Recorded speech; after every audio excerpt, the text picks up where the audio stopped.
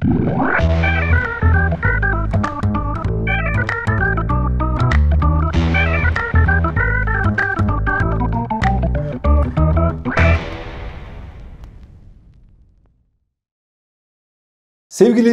Ümit Sami Kumuş.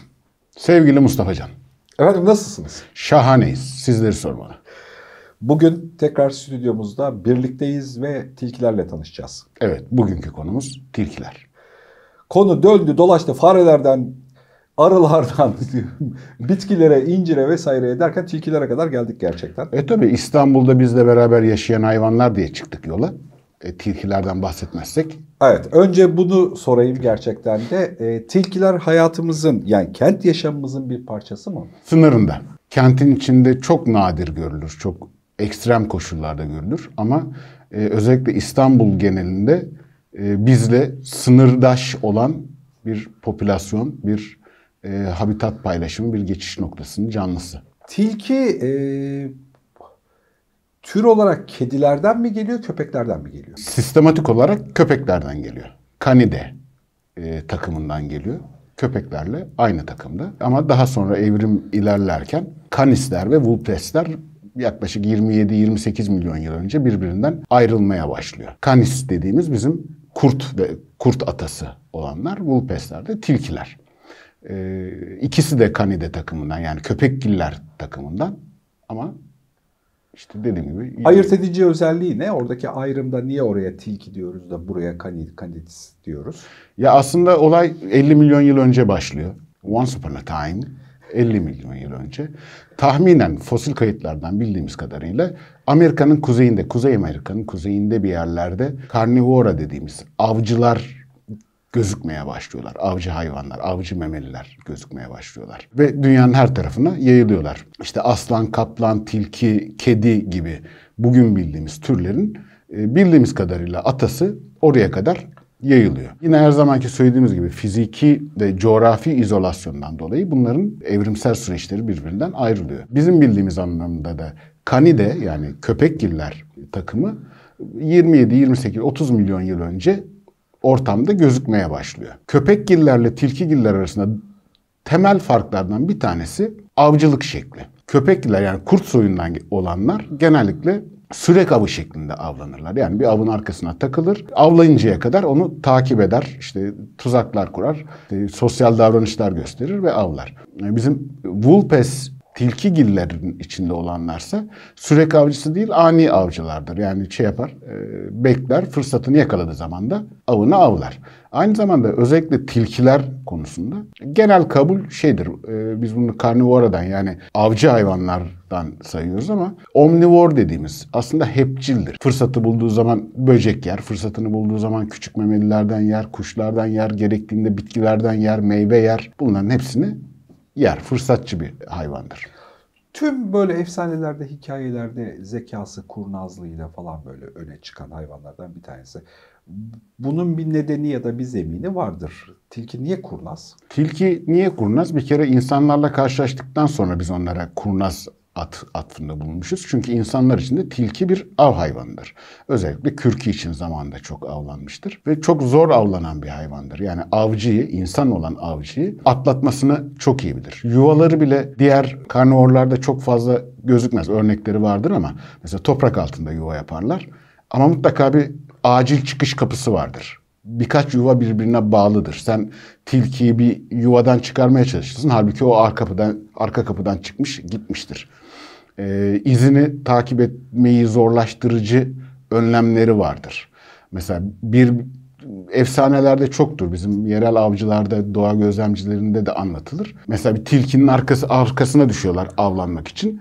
Ya kovalıyorlar, kovalıyorlar. Hayvanın normalde yorulması lazım. Ortalıktan bir kayboluyor. Sonra tekrar buluyorlar. Hayvan sanki hiç yorulmamış gibi devam ediyor. Sonra ortaya çıkıyor ki mesela 2-3 tilki bir araya gelmişler. İki tanesi saklanıyor. Bir tanesi avcıları peşine takıyor. Onlar orada dinlenirken dönüyor geliyor. Yuvaya giriyor. Diğer tilki yuvayı terk ediyor. Avcıları gene arkasına takıyor. Mesela böyle enteresan insan zihnine uygun şekilde adlandırırsak kurnaz ve akıllı olduğuna dair çok efsane var. Peki doğada da avlanması öyle kurnazca avlanma metotları var mı normal bizim alışkın ee, ani bir avcıdır. Kurnaz yani bizim baktığımız açıdan kurnazca diyebiliriz ama gene Mesela tilkileri üç aşağı beş yukarı herkes biliyordur. Baktığınız zaman görürsünüz böyle e, ince uzun bir burnu vardır. Burnu sürekli ıslaktır. Kocaman kulakları vardır. Bunlar süs olsun diye değil. Tilkiler çok iyi duyarlar. E, çok iyi duydukları için e, toprak altında veya kar altında olan herhangi bir canlının hareketlerini böyle nokta tahminiyle nerede olduğunu bilirler. Hissederler yani duyu organlarıyla. Pusuya yatar, bekler, bekler, bekler. Karın veya toprağın altındaki e, hayvan sabit konuma geldiği zaman da tık diye atlar, yakalar. Bir de böyle tilkilerin kuyrukları çok afilli. Evet. Yani hani genel olarak böyle normal alışkın olduğumuz hayvan gruplarına göre böyle gayet kocaman ve büyük süslü püslü bir kuyrukları var. Evrimsel bir nedeni var mı onun? Ee, Biliyor musun? Yani tavus kuşu örneğinde olduğu gibi bu büyük ihtimalle eşeysel seçilimin bir ürünü.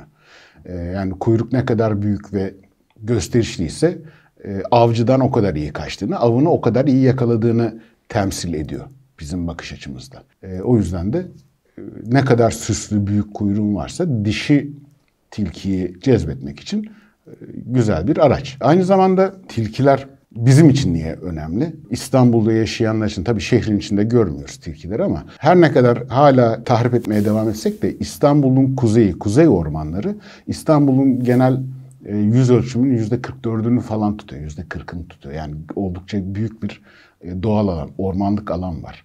E, burada genellikle yaşıyorlar diğer avcılarla beraber, diğer memelilerle beraber. Tilkinin özellikle bizim coğrafyamızda ana besin kaynaklarından bir tanesi daha önce de bahsettiğimiz fareler. Doğada yaşayan veya insan e, yaşamına yakın yerdeki, taşradaki, çiftlik yakınlarındaki farelerle çok beslenirler. Fırsatını bulduğu zaman kümesten tavuk kaçırır, işte yuvasından kuş yumurtası alır. Onlar ayrı.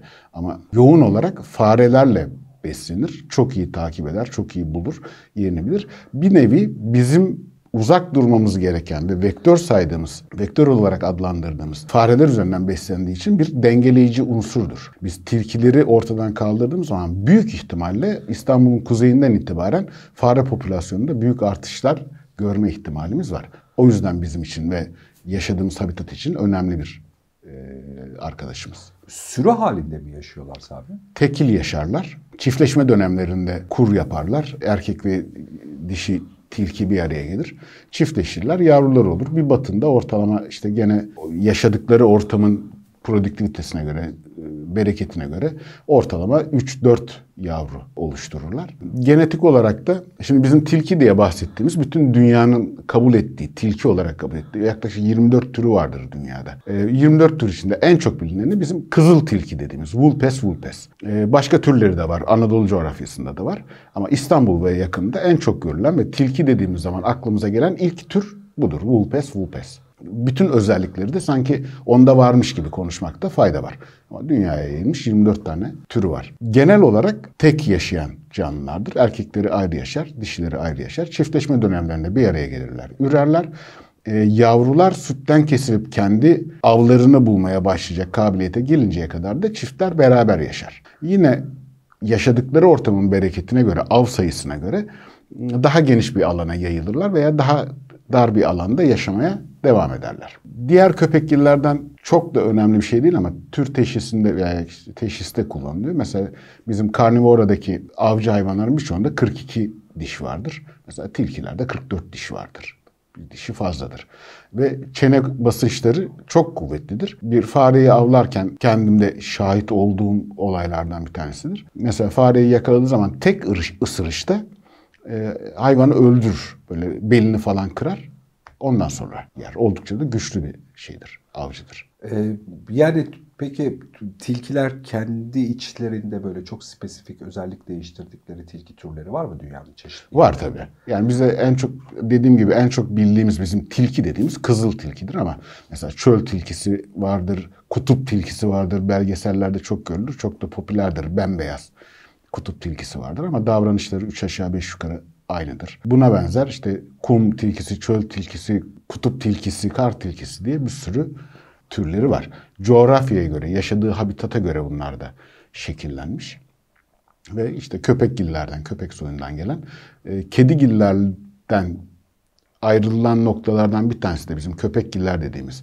E, yani bugünkü bizim evcil köpekler, onun atası olan kurtlar, diğer köpekgiller mesela pençelerini içeri çekemeyen canlılardır.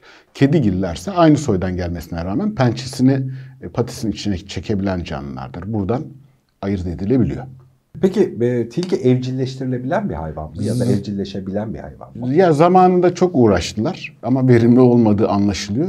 E, yavruyken aldığınız zaman, yavrudan aldığınızda bu tür memelileri, avcı memelileri evcilleştirmek mümkün. Köpek gibi bir göreve atfetmek, ona bir görev vermek, eğitmek, komutlara karşılık vermesini sağlamak mümkün olmuyor. Ama özellikle 16. 17. yüzyılda zaten rağbet gören bir av hayvanı olduğu için çok denenmiş ama çok da başarılı olmamış. E, kürkü yüzünden avcılık hala devam ediyor mu? E, dünyanın hemen hemen her yerinde yasak. E, bizde de yasak. Ağır cezaları var. Kafes altında bulundurmak, beslemek, yavrusunu almak, e, işte kürkü için avlamak gibi bunların tamamı yasak. Hem ekolojik açıdan, habitat korunumu açısından hem doğal denge açısından çok önemli. Kürk girmeye de artık ihtiyacımız yok diye düşünüyorum. O yüzden tilkiye çok yaklaşmasınlar. Şeydir insandan kaçar ama hani bazı kritik noktaları da vardır. Bütün tilkilerde yok ama şimdi o tür canlılar e, mesela kuduz taşıma ihtimalleri olan canlılardır. Kendileri kuduz olmaz. Ama taşıyıcısı olma ihtimali var. O yüzden aynı sevimli diye gidip yanında dost olmaya çalışmanın da manası yok. Kendi haline bırakmamız lazım. Şehir dediğim gibi şehirlerin çok yakınında yaşarlar ve e, bizim bizle beraber yaşamasını istemediğimiz popülasyonları dengede tutan önemli bir arkadaştır. Güzelmiş. Teşekkür ediyorum. Ben teşekkür ederim.